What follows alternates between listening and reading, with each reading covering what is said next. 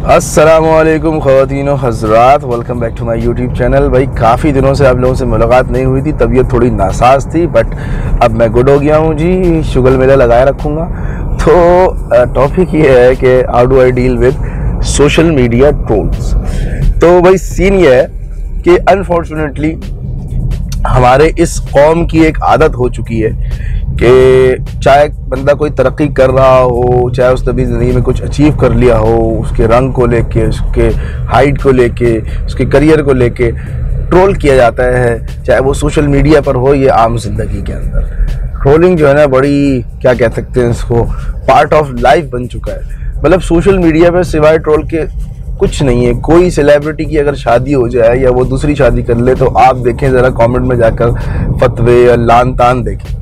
खैर टॉपिक ये नहीं है कि किस तरह से आप ट्रोल को कंट्रोल कर सकते हैं। टॉपिक ये है कि मैं किस तरह से करता हूँ। तो नंबर वन ये है कि पॉलिसी पॉलिसी यूट्यूब की एक पॉलिसी होती है जिसके अंदर आप उसकी सेटिंग में जाके कुछ वर्ड्स को ब्लॉक कर सकते हैं। तो मैंने भी कुछ वर्ड्स ब्लॉक किए हुए हैं, जैसे बी सी एम सी और इस तरह के एब्यूसिव वर्ड्स और स्लैंग जो लैंग्वेज होती हैं, जो मैं नहीं चाहता। कि मेरी वीडियो के ऊपर आए देखिए भाई, दो बातें एक होते हैं नेगेटिव कमेंट और एक होते हैं क्रिटिक यानी कि आप इसलाह करने के लिए आप बोलते हो कि यार, तूने ये गलत किया और ये तूने अच्छा किया, और एक ये होता है कि बेकार, घटिया, क्या बना रहा है भाई? मतलब कोई वजह नहीं है। तो इसलिए मैंने एक, सबसे पहले तो ये किया हुआ है कुछ वर्ड्स ब्लॉक किए हुए जो मेरे ना ही कम्युनिटी पोस्ट ना ही यूट्यूब की किसी वीडियो पर आएँगे। नंबर टू ये है कि एक बड़ा ज़बरदस्त ऑप्शन है यूट्यूब स्टूडियो से अगर आप जाते हैं hide user from this channel उसमें ये होता है कि वो जो बंदा है जो आप देखते हैं कि यार आ, आपको कंटिन्यूसली ट्रोल कर रहा है नेगेटिव फ़ीड कमेंट कर रहा है आपको और कोई सही बात नहीं है अच्छे वीडियो पर उसका कमेंट नहीं आ रहा जो आपने थोड़े बहुत कुछ एम ही बना दी उसके ऊपर आ रहा है ये क्या कंटेंट है ये वो। तो आप उस बंदे को हाइड कर सकते हैं उससे फ़ायदा ये होगा कि वो अपनी भड़ास निकाल सकता है, वो कमेंट करता रहेगा ज़िंदगी भर। लेकिन वो कमेंट जो है, वो सिर्फ़ उसको दिखेगा, वो भड़ास आप तक नहीं पहुंचेगी। तो सर जी गुड हो गया जी, बेहतरीन हो गया, ये बड़ा अच्छा ऑप्शन है। तो ये ऑप्शन भी हम इस्तेमाल करते हैं। ही अच्छा तीसरी चीज़ जो है, वो एक ये होता है कि इग्नोर सबसे इंपॉर्टेंट चीज़ें, ये बड़ी कॉमन बात भी है, लेकिन इंपॉर्टेंट भी है। हमें 11 साल हो गए वीडियोस बनाते बनाते मैं अभी भी देखता हूँ, कुछ लोग जो है वो अभी एक आध साल हुआ है, उनको कोई ट्रोल कर रहा है तो वो डिसहार्ट होके जो है वो अपना यूट्यूब चैनल को बोल रहे कि हमें गैप लेने की ज़रूरत है और मतलब जो है ना, हम थोड़े दिनों में आएँगे, फिर दूसरे लोग उसको पैम्पर कर रहे हैं कि यार क्या हो गया, कोई मसला नहीं है। पता नहीं, हम लोग शायद बहुत ज़्यादा ढीठ हो चुके हैं, इतनी हमें गालियाँ पड़ी हैं। लेकिन इग्नोर करना सीखें आप, क्योंकि बहुत सारे लोग हैं जो आपको कभी भी खुश नहीं देखना चाहते, आपको आगे बढ़ता हुआ देखना नहीं चाहते, कुछ अचीव करते हुए देखना नहीं चाहते।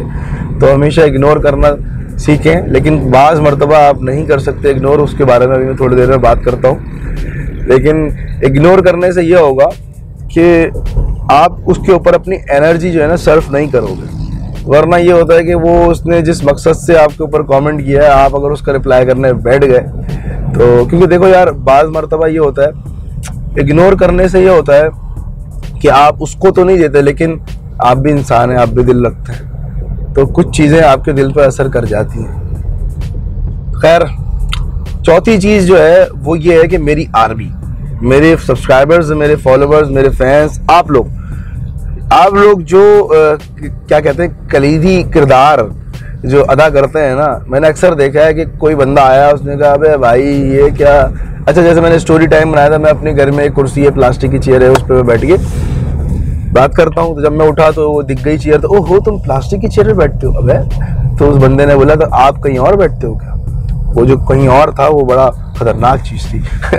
तो ये जो मेरी आर्मी है ना, ये ऐसे है जैसे मैं हूँ ब्रिगेडियर काशान, और आगे मेरे सिपा सलाह लड़ रहे और मैं बैठ के बोल रहा हूँ, शबाश काम ज़बरदस्त, बहुत ज़बरदस्त किया आपने। और हार्ट दे देता हूँ मैं। उससे जो मेरा फौजी है, उसका जो है हौसला बढ़ जाता है, वो और लड़ता है, और जज्बे से। तो मुझे कुछ करने की ज़रूरत नहीं होती, वो आपस में सेटलमेंट कर लेते हैं। आखिरी चीज़ है फाइट बैक कभी कभार भाई ऐसा भी होता है, यानी कि सौ में से टेन परसेंट अगर आप कह लें हंड्रेड में टेन परसेंट ऐसा होता है कि मैं जवाब देता हूँ।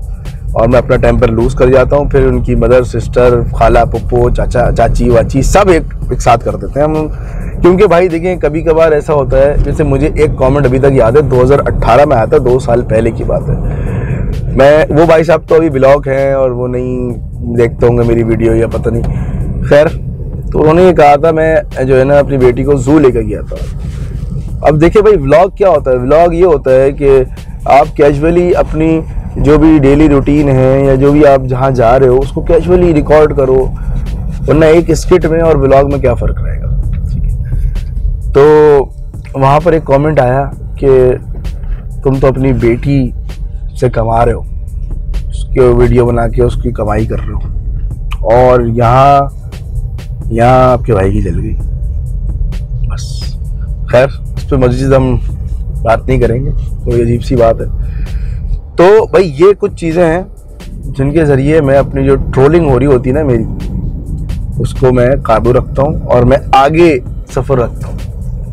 और बहुत सारी चीज़ें हुई हैं, जैसे कभी शुरू शुरू में लोग कह रहे थे कि भाई ब्लॉग व्लॉग छोड़ो, वही बनाओ वाइन वाइन्स बनाओ शॉर्ट फ़िल्म बनाओ, वही कर सकते हो आप।